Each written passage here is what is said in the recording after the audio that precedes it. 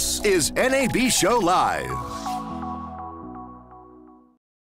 Welcome back to NAB Show Live. I'm your host for this hour, Brian Seth Hurst, and I have something very special planned for this hour.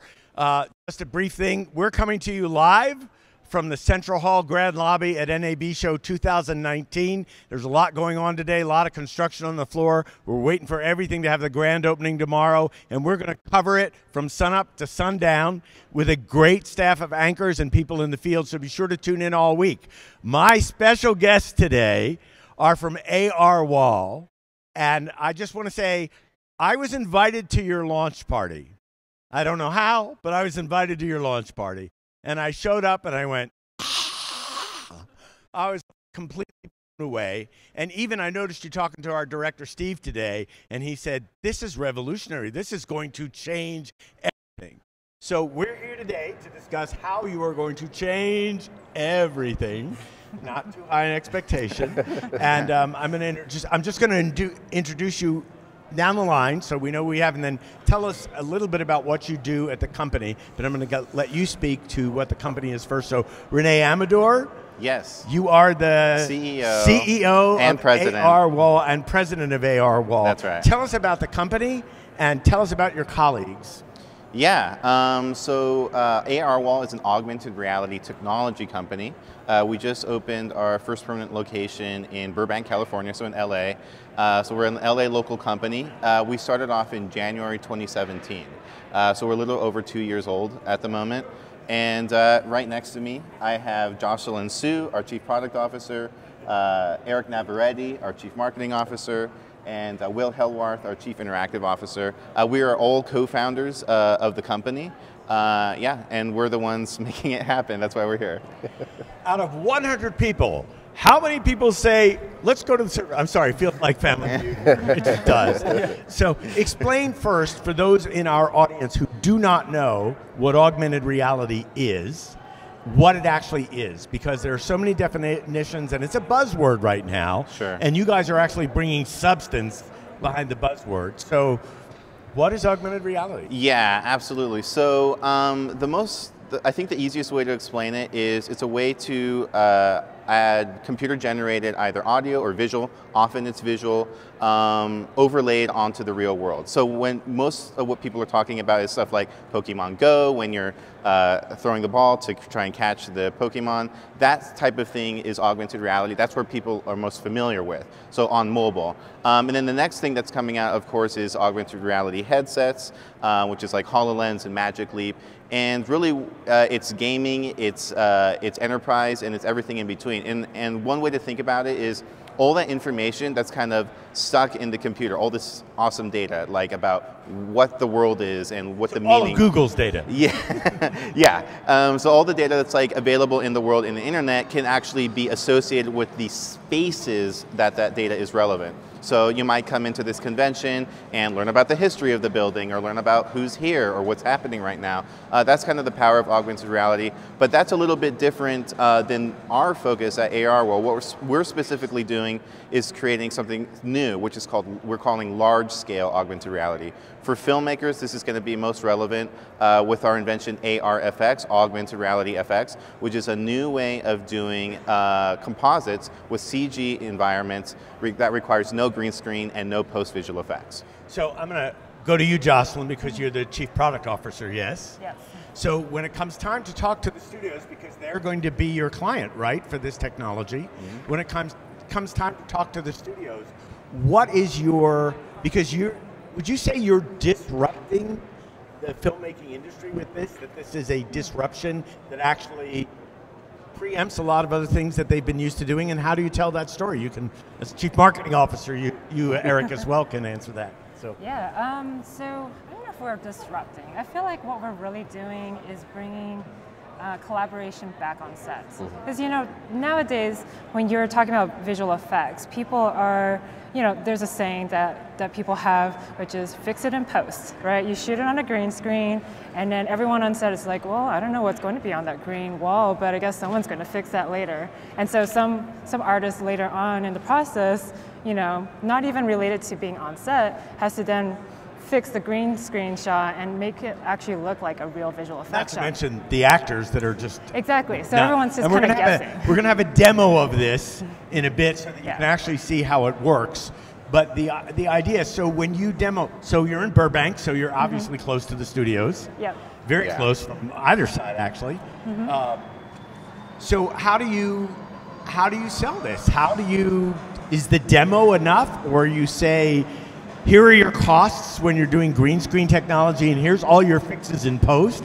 Here's how we're going to save you time. Here's how we're going to save you efficiency, and here's how we're going to collaborate with you to customize the product. How do you go about that? So um, the biggest sell that, uh, that we do is we show the demo, and it's going to be quite interesting to see it in person because you know just watching a video doesn't quite give you the same effect. But what, what we do is we show the filmmakers like, look, you can bring collaboration back on set, How, like it was really meant to be, right? Like our the original filmmakers, it was all about this collaboration on set. Everyone had their specialty, and they could bring it together and create like the final shots together. And that's what we're re- really promising filmmakers again instead of having a visual effects artist at the end of the, the, the timeline in post-production, we invite them on set so that they can adjust the background and make changes for the dir-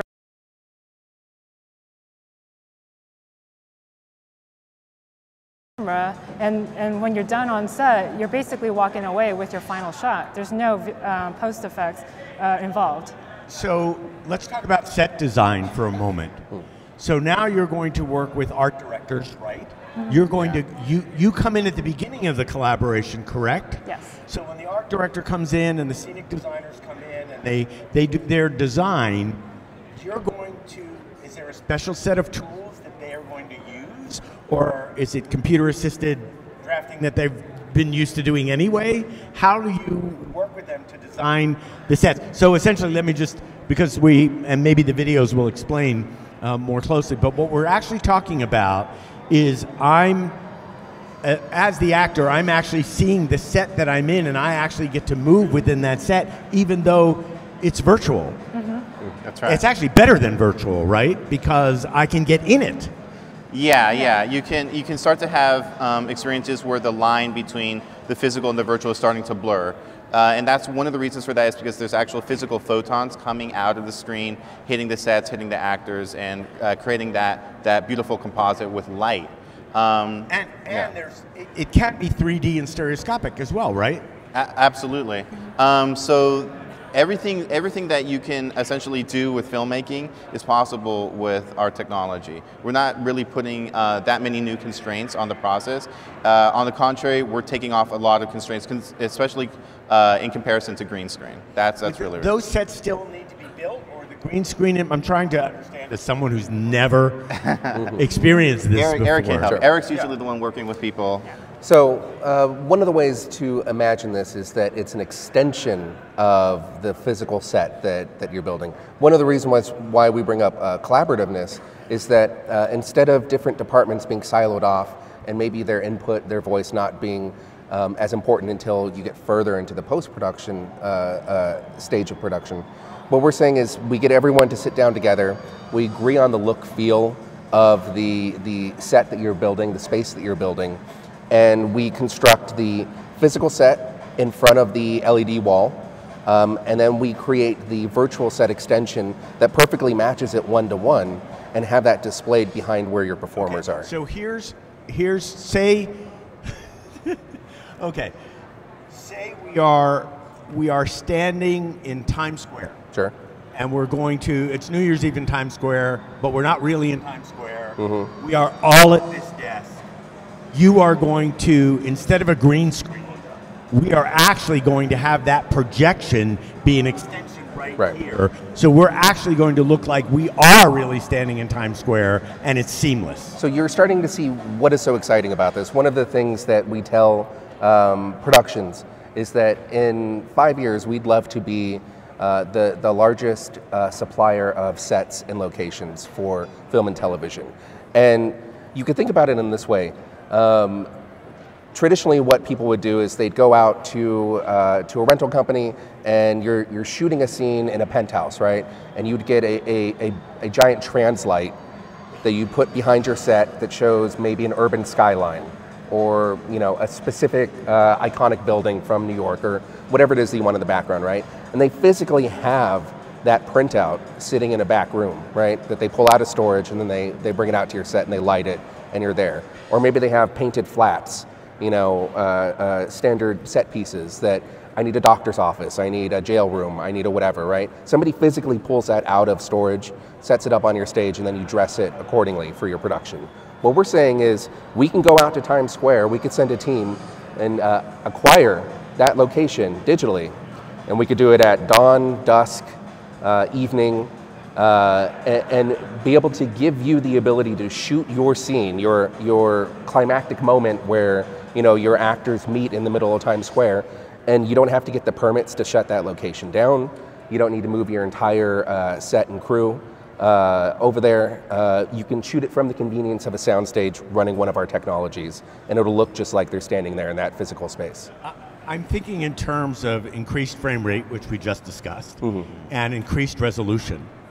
So when you have translites and you have painted flats, that's not gonna that's not gonna work as resolution increases and frame rates increase, right? Exactly. So this is the answer to higher resolution, higher definition. Absolutely. So that so you're actually so, one, you're solving location problems. Mm-hmm. You're sol- and in location problems is permitting is weather. Yes. is all of the things like right right now we're on our way to Philadelphia after this, mm-hmm. and I'm just praying it doesn't rain. That's, that's my okay. big prayers. It doesn't rain mm-hmm. because it will just completely screw everything up. And so, I, I would. I I'm trying to figure out how to do this as a producer now. I say to you, look, I'm going to be shooting this scene in Times Square. Mm-hmm. It takes place five o'clock in the afternoon in in August, so it's late summer light you'll be able to make those adjustments, right? You'll so you can still do some post adjustments on what you're shooting, right? You can change lighting and color.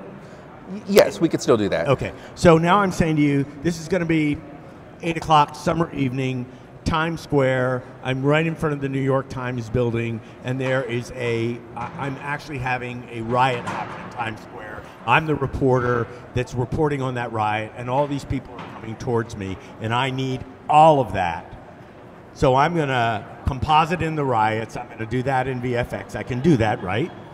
Uh, but every the whole environment that is happening in now, I'm telling you exactly what I need. Who designs that? They design this and talk to you. The, the art directors talk to you and then say, "This is what we need," and we really want to be able to see these things pop. Sure. So. Um, I mean, regarding the specific things that you want to show up into a shot, for instance, you have a big unruly mob it could be zombies, it could be robots, it could just be people, uh, whatever, whatever your production is, right? Uh, what we explicitly want to uh, have people understand is that we're a technology company. We're, we're not necessarily interested in being a visual effects shop. So what we would do is we would speak to your production, speak to your visual effects uh, studio that you've already hired, and let them know these are how your assets should be delivered to us so that they run on our platform um, odds are they're already building it that way anyways. They just don't package that final thing uh, for you. So we would work in concert with so them. You're actually just like slipping right into the workflow. Exactly. Mm-hmm. So no, there's no change in workflow.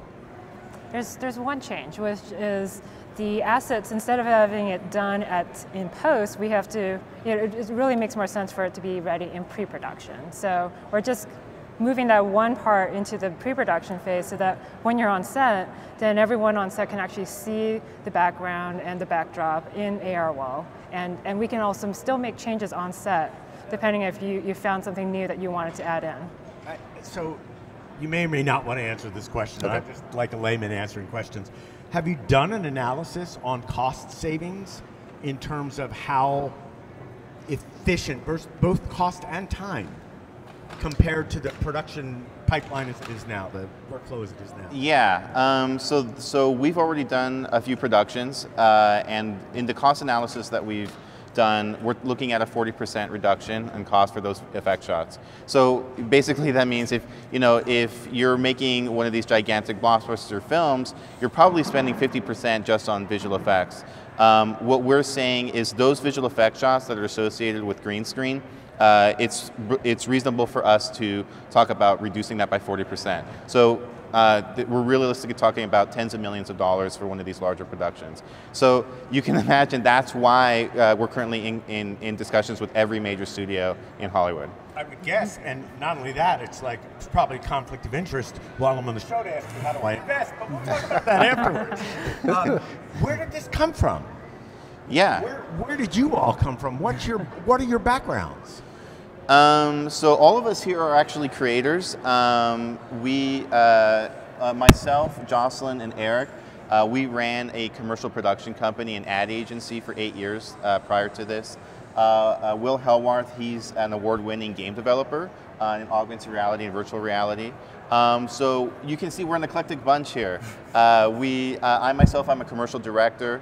Jocelyn is a developer and a commercial producer. Eric's a marketer and a producer. Um, we come from all sorts of uh, different worlds here and different uh, disciplines. And, and, the way that we essentially came up with this is looking at, um, you know, it's, it's, it's almost like the best things happen out of a fit of frustration.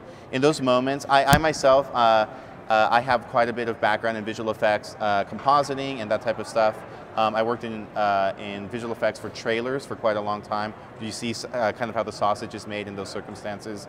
And uh, it's really in those moments where you're painting out hair uh, on the green screen frame by frame.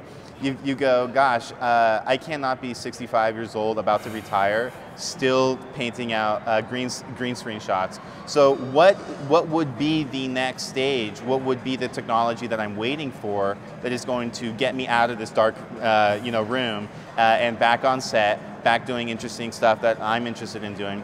Um, and it wasn't until we, uh, we saw augmented reality uh, and virtual reality and what these technologies were doing with real-time graphics. And I think that's really where the light bulb went off when we realized, okay, rear projection, you know, what you would, what you would imagine, you know, Hitchcock using uh, behind his actors in a car scene, right, that type of thing. Well, the reason that that stopped being used um, even though it's, a, it's an excellent technology, is because you can't move the camera, right? As soon as you um, track back and forth, the parallax It was also breaks. painfully obvious. It was painfully obvious. But for example, like um, if you go back, if you go back and you look at uh, Wizard of Oz and look at those tornado scenes, some of those composites that they were able to achieve with rear projection are just absolutely stunning.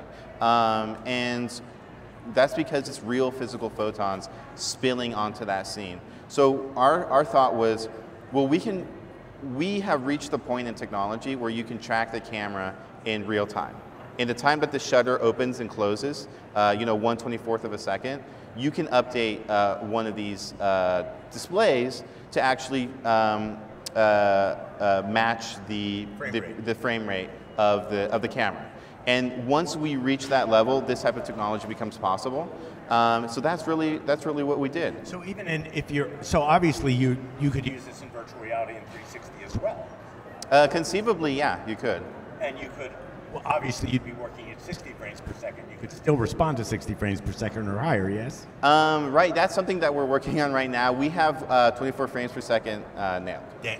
Yeah. A little bit above that, but so, I so think we're I still mean, working. 60. what? Yeah. Huh? I think we run 60 these Yeah, days, we can run. We can run 60. Um, for us, it's all We'd about have to, or Will would have to quit. we um, if for us it's all about speed and accuracy that's what we that's what we mean when we say that we're a technology company We- you know creating beautiful images is, is awesome and there's lots of people that can do that in the world that are way better than us what we're specifically doing is attacking that speed and accuracy problem and that's what differentiates us from other visual uh, other effects companies and also like previous companies and companies that are all working in real time but their speed and accuracy doesn't have the same threshold that, that we have and that we need Yeah, and I actually remember when I'm old enough to remember when Previs started, and how that was cost savings. And now when you look and you say, okay, there are so many assets that it's just this is just like a there was a problem waiting, obviously, for a solution instead of the other way around. Was it a, a moment of inspiration where like you were all sitting down and saying, what if? Um, I think the moment of inspiration was in realizing that something that could be a cool trick for a couple shots actually had um, Legs. le- legs. That this that there was actually a need for something like this, and and the only reason that we saw this need. Um, is because we have been working with green screen for quite a while. Uh, I myself, as a commercial director, I'd been in, I've been in situations where you know, I'm there on set with a major client of a major brand. Uh, we're shooting a green screen shoot, and you know, I'm like, hey, how does it look? And they go, great, you know, it looks awesome. And then we get into post production and we start to do the composite, and they go, wow, Wow. somebody's breaking glass over there. Um, uh, a special effect. Just- um, uh, we get into post production and we're doing the composite, and they go, "What the heck is this? What, what am I even looking at?" And I go, "Gosh, I thought they we got the sign off for this shot." And they go, "Well, I didn't know what I was looking at. I was looking at a gigantic green wall. I didn't I don't know what was going on." So I think in those instances, you have clients, you have cast, you have crew um, that that need something like this, uh, like constantly. Uh, it's you know if you And you think can't go over budget. so when you go back into post and you're like, oh my God, there's a fix. yeah. That's going to take this amount of time and this amount of money. So Exactly. Yeah. So I mean, it's I think it's um, it's thinking about what other filmmakers are facing. We had we kind of had this technology as something spinning in the back of our minds for one specific project. As you can imagine, it was a high-end science fiction project, uh, that type of thing, um, and and just realizing, gosh. People are really interested in this. When we first started talking about it uh, with people seriously, in a, you know, in a serious way, started talking to filmmakers and stuff, um, they were telling us stuff that I think that we had felt but never actually heard out loud. Stuff like, you know what? I hate green screen. People were telling us, I hate green screen. It's the bane of my existence. I dread shooting and then waiting a year and then going back into the room with the visual effects artist trying to remember what was I what was I Thinking. thinking what was I trying to Yeah. accomplish uh, a year ago sometimes two years and there's even um, filmmakers that we've spoken with that they shoot on green screen they go and do another project and then they're coming back year, two years later, completing those visual effects shots. It's like they're not even the same human being in the beginning and the Yeah. end of that process. So, I yeah. want to I want to get to the videos because we want to make sure we have enough time. For absolutely. Let's So- show the tech explainer. Wha- Number, where are you, Steve? Number one.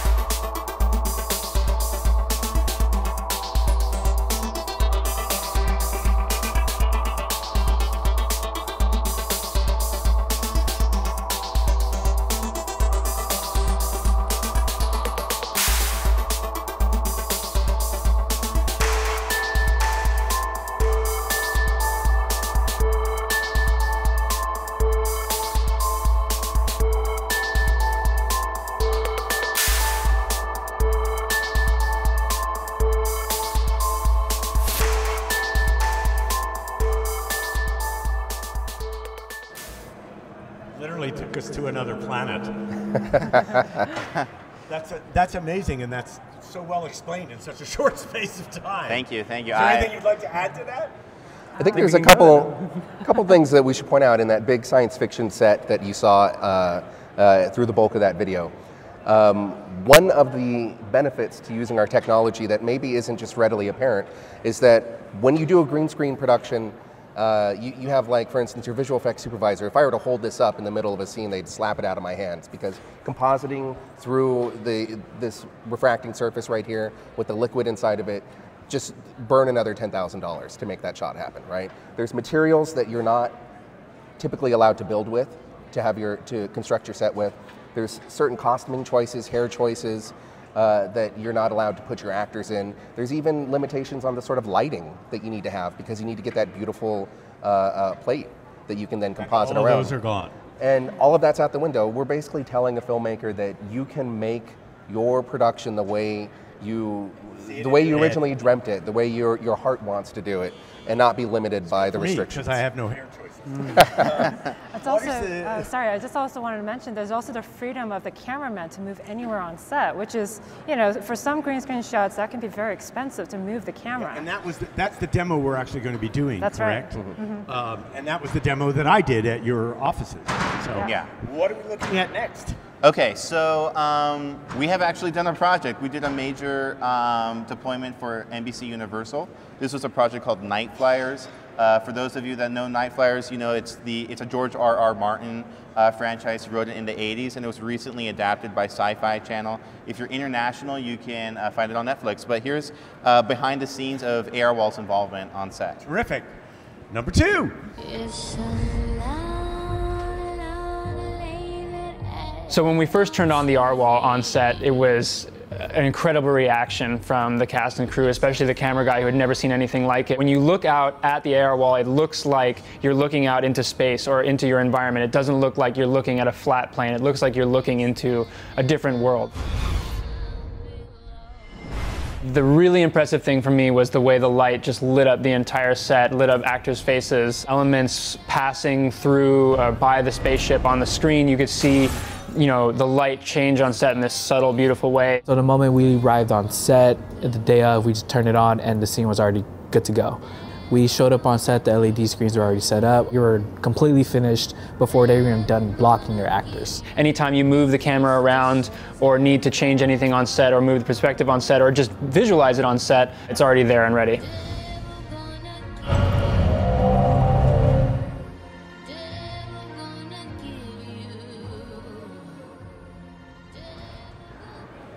Will, you spoke. For the first time, yes. you speak. I'm glad we had some of me speaking. Is there anything you would like to add to that? Yeah, a little bit. Um, you know, that was most of uh, my set experience, but uh, what was really fun for me and, and what I'm most excited about is, uh, of course, the interactive, the, the uh, live control uh, features that basically we're calling like giving the director a magic wand, essentially. So this is something that we're working on. I think we've got uh, like very uh, brief examples of it in the demo possibly, but essentially, you know, uh, these guys are all totally head in the clouds about, oh, we can just push the image out and it's running real time and look, 60 frames a second and it, there we go. That's just like the VFX. And I'm thinking uh, from a game background, like, no, it's interactive now. We can point at things and they'll change. We can have the director cue actions. We can track the actor's movement and have virtual backup dancers. Like we can make the whole you know, suite of tools basically. Um, and so on set, the most exciting thing for me was, uh, you know, talking to the DP and making changes, just looking at the screen and going, oh, you know what, the, the spaceships should be a little bit this way, the arms are going a little bit too fast, and just done. And the, you know, the DP, uh, who's on any production, very meticulous, you know, is looking at everything, and then you come to a green screen, and he's basically just forced to go, oh yeah, well, whatever, you know, and it's compared to the amount of attention that he paid to everything else, it's ridiculous, right? So I think that, that and specifically, uh, we, I got to uh, press the button and launch the spaceship into space, and that was pretty fun. that was pretty fun. Um, in terms of um, having more creative control in the moment uh, for DPs, that must be like mana. Yeah, I, I mean, because uh, their whole thing can get screwed up. I mean, Oh yeah. And cinematographers. Yeah, and uh, uh, it's also just nice to have the options of you saying a late summer evening in New York. Well, it's like maybe it's a little bit too orange or yellow or late or early, and it's done right there. And the light looks good, and you can just check it, and you can test a bunch of things that you didn't even know that you wanted, basically. What is the compute power you need for this? Uh, so we build our own machines, and they are equivalent to very, very high-end gaming machines, or past like super high-end gaming machines, or we I would definitely yeah. say past. Past, yeah, like some of the highest end rendering technology that is available is in our machines. Nothing's being done in the cloud, though. It's all being done. Yeah, all of it's local here, and, and, part of that is to preserve the speed and accuracy, as Rene is saying, the latency. Amazing. Yeah. One of the things um, I should know, also I want to give a shout out uh, to the folks at Nightflyers. Um, John Corser, the VP of production at uh, Universal Cable, he's been our champion uh, and was one of the first people to actually listen to us and, and what we've been up to. So, John, you're awesome.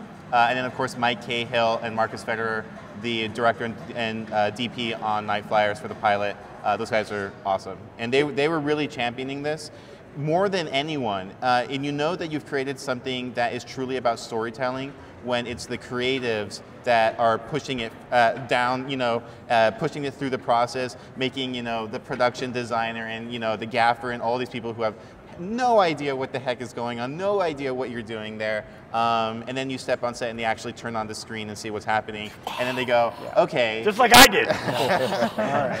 Yeah. It uh, must yeah. be really gratifying to work with creators who like get it like that. Yeah. Like Uh, there's not a lot of explanation. It's just like, okay, let's get to work. Yeah, I mean, it, one thing, one thing that that I think is startling to me is, uh, as I as I'm getting older, I started doing this when I was 17 in high school, uh, making making videos, um, and really, for for any filmmaker that's that's about my age or younger, um, green screen has actually existed our entire lives. It, you know, it kind of digital green screen was kind of invented like in the mid 80s, early 80s, somewhere around there. Um, so to us, it's actually a old, you know, it's grandpa technology, um, and Thank we're you. and we're looking for, you know, what's what's what's next. So we're seeing a lot of filmmakers moving away from green screen in a variety of ways, and hopefully our offering um, here is something that isn't just a fit for like the, you know, the Jon Favreau's and the Russo brothers of the world that have, uh, you know, 100 million plus, but we're actually creating this technology so it can affect the entire industry. Will you have stock footage as well? Yeah. Yeah, stock So that's, that addresses exactly that, that lower, I don't want to say lower end, entry level Yeah. of creator that's looking to be able to, to save time, cost, and, and really have a, a, a very realistic set. Exactly, and like I, I'm, I, I, myself and Jocelyn, we very much come from the tradition of uh, guerrilla filmmaking, and um, to the end, we actually made a, made a clip which is very guerrilla feeling, almost feels um, uh, like a run and gun uh, production, but was shot in our uh, production lab in Burbank. I think that's the That's next. what we're going to see yeah. next. Number three, Steve.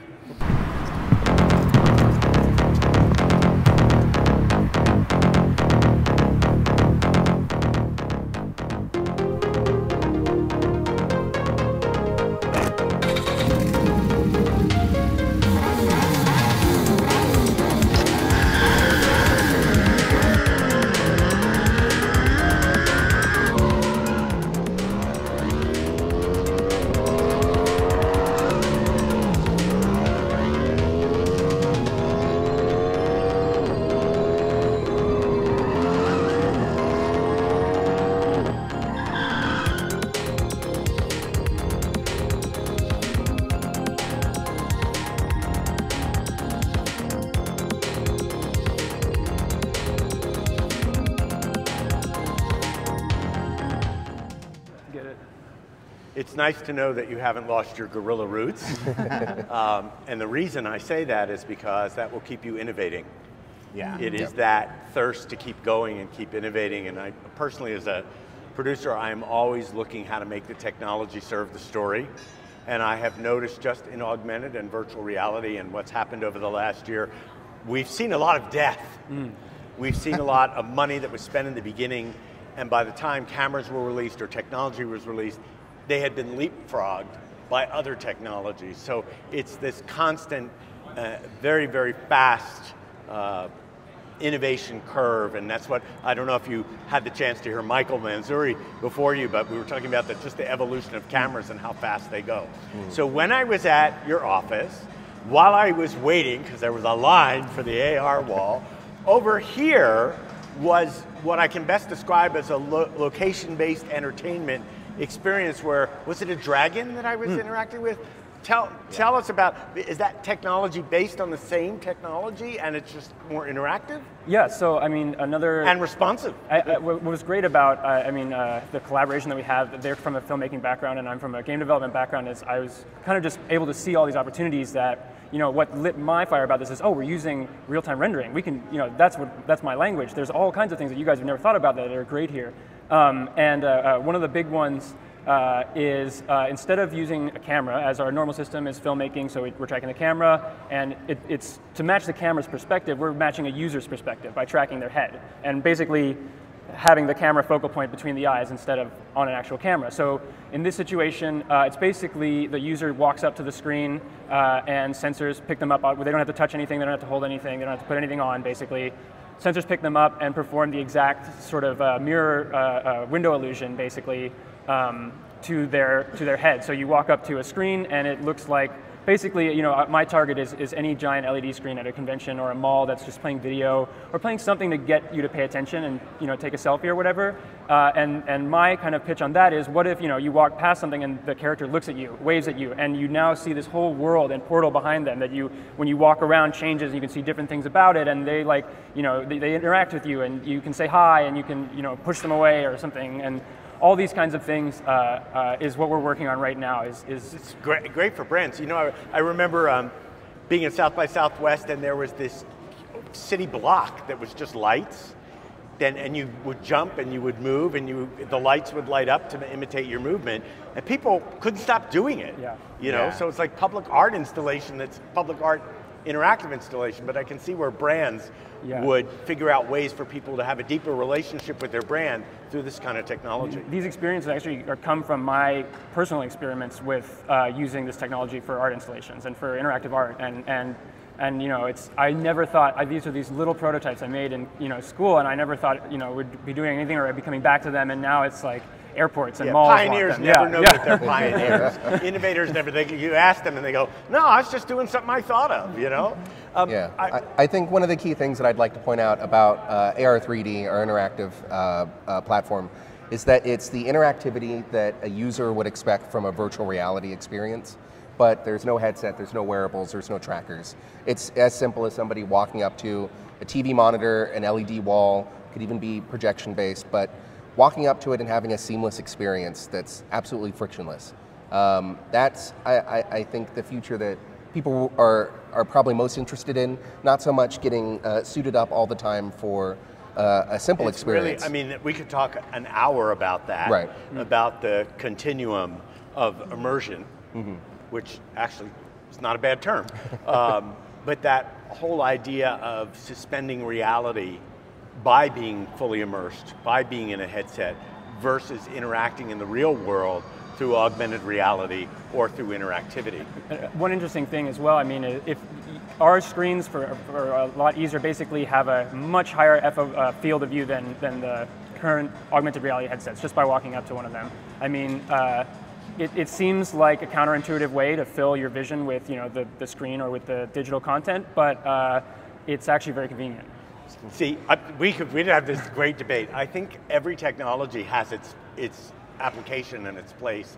But I, as a storyteller and as a writer, when I want you to suspend all of this to be in the world that I've created, that's where virtual reality became was a, like a dream come true. Hmm. And that one of the reasons I asked you about the technology in 360, and you have all these AAA virtual reality games starting to come on, like hmm. Contagion and, and all of these things that we're getting there, it seems to me you could up that game, so to speak, with your technology in not just, uh, not just games, but also in augmenting live action 360. Because you know when we have to go out, the, the, one of the pieces we shot was on location in Virginia, in the mud at 5:30 in the morning, and you know the audience didn't get to see the mud. you know, it wasn't about the mud; it was about us getting through the mud to the location. So the idea of being able to do this, and it's, it's a combination of 360 and 180. So that collaboration that you've already established with storytellers, carrying that into virtual reality and, and full immersion, I, I look forward to that as well. I would like to have the 40% cost savings there as well. Absolutely. So let's go to the demo. Yes. We have Patrick and Isaac. Where All are you guys? There they are. They're coming on stage. And we have our, our great cameraman on the TVU, Brian, who's actually going to explain how to do this. And these guys won't be able to talk because they don't have mics, so you're going to need to talk. All right, so I'm going to explain what you're seeing here. Um, so this was actually one of the first scenes that we created. Uh, this is a science fiction, uh, like cyber, cyberpunk city uh, that you're looking at here. And specifically, um, what you're seeing is uh, from the camera's perspective. So Brian is the cameraman. Um, Isaac so this is a the little bit cameraman. confusing because we have two. I'm sorry. I'm sorry, two- not Brian. Two camera setups here. Isaac is the cameraman. Yes. Yeah, look, looks like we have a calibration issue. Let's fix that. Just a second.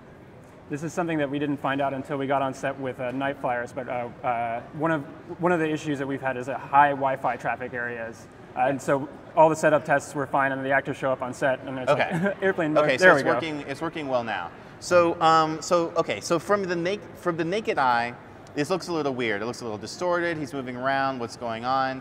Um, it doesn't look like anything quite much. From the perspective of the camera, which is the which is the smartphone that he's holding in his hand, what he's experiencing is a window into the virtual environment. Uh, so as he moves around, he experiences parallax and depth, and uh, it's real photons coming out of the screen and hitting his lens. And this is really what we're talking about. It's a window into the virtual environment. So you can imagine sets actors, everything in front of this uh, screen. You know, blow up this screen by 10 times, uh, and, you, and you'll understand what we're talking about. Uh, the largest screen that, uh, deployment that we've done is 45 feet by 15 feet. What is the one that's in your office, just for my own curiosity? So the one that's in our lab in Burbank, uh, and this is actually rentable, a rentable space and a rentable screen. It's 18 feet by 9 feet, and that's just massive. That's about a 4K screen. And, um, and the largest one that we've done is about 6.5K. So just, just unbelievable amounts of resolution that we're pumping out here. So as Isaac has the camera, where is the actor in front of him? Yeah. yeah, Yes. so everything is happening uh, between So the if I stood between the him and there in screen. the larger screen, not this Yeah. thing, Yeah. Right. but in a larger screen, if I stood between him and this large screen, I'm on the set. I'm there. It does appear as if you're in the same space as the set. So it compensates for perspective, yes. Mm-hmm. size, parallax, all mm-hmm. that stuff. Yeah. How- And you can is switch it doing out that on the fly? It's doing it all on the fly. And- How? oh wait, is that the secret Yeah. I can't tell you that. Look, that's the stuff. That's the stuff. That's the, that's amazing about VR and AR, and and and to some extent also Bitcoin. Um, the, all these three technologies use the same uh, type of processors to complete these. Um, So we're talking about a lot of processing power. a lot of processing power. I mean, I don't know what the actual numbers are over the last data center. over the last two years alone. I mean, it's it's it's been unbelievable, and and we're we're in situations where stuff that we didn't even think was possible when we founded the company is now like a commonplace thing to be seeing. Um, so that just gives you an idea of how fast this is moving. So for us, we're almost rising on the crest of this wave of, of processor power and graphics power and spatial technology as a whole. So this is basically what it looks like. Um, and instead of that smartphone, you can swap out any camera, literally any camera. We've used Reds and Blackmagic and you know uh, everything down to DSLRs and everything like that. So yeah, this is it. Of, and, and so you're actually, uh, what is, I have so many questions. What is tracking my movements in front of the camera that is making the adjustment while I'm moving? Yeah. So it, it gets a little very technical, but the easy way to say it is it's like um, it's like lasers that are tracking in in in many many cycles. I think it's over 100 hertz. Uh, Right. Uh, the other thing is that uh, we're also hardware agnostic right now with the tracking. There's a lot of solutions like in motion capture uh, that are available for you know finding out where a point in space is a lot, like Yeah. a thousand times a second. So basically, any system that is like capable of that, you know, doing that kind of uh, uh, detection, we can use. Yeah. So there's a lot of different spatial uh, imaging technology out there to establish the track. Everything from depth cameras to IR to uh, you know optical, and um, yeah. So we we so work with again, all of those. I mean, this is, um, recently I have come to become part of a company that is just about spatial computing. And now I can see, and I'm only in there to produce content. Sure. But now I'm, I'm beginning to see, just interviewing people, and it's only day two of the interviews, the show hasn't even opened. um, but now I'm beginning to see just the vitality of spatial computing and the what I want to say is actually the ability to augment reality. I mean, to literally shift and change. So this actually doesn't fall into what was previously my definition of augmented reality. No, no, it's a yeah. little bit different. And one way to think about it is like compared to Pokemon Go, that's 10% CG, 90% real, meaning like what you're actually looking through in your mobile phone. We're swapping that ratio. We're saying literally just the actor and a little bit of set is real, everything else is CG. And that's the that's the shift that we're making. How are you guys? How are you going to scale?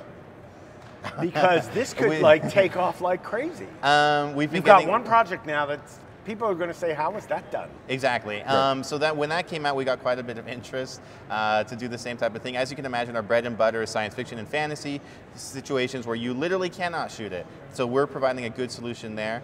Um, and we we have opened a round of investment uh, that we're that we just this spring that we're. If you're interested, please uh, contact us. Uh, but we should show the AR3D video as Yeah, well. let's- let's show the AR3D this is video. What we this is what we've been working on next.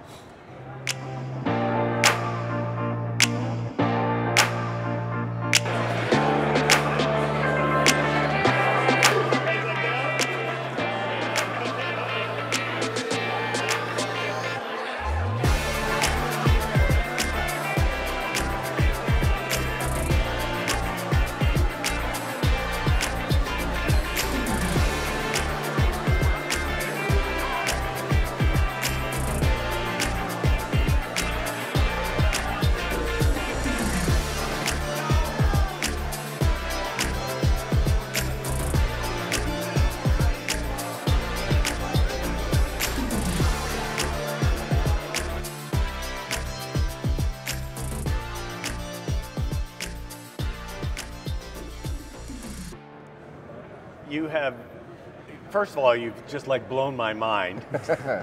and my- as a creator, my mind is just like churning and churning. As a former brand guy, my mind is churning and churning.